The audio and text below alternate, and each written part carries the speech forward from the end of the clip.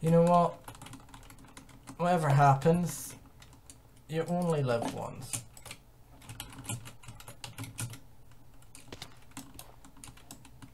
I'm a fucking idiot.